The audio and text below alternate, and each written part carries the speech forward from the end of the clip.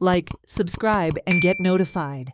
A petrol pump attendant in Dhargal, Pernem was duped by a four-wheeler rider who handed over four fake rupees 500 notes after purchasing fuel worth rupees 2000.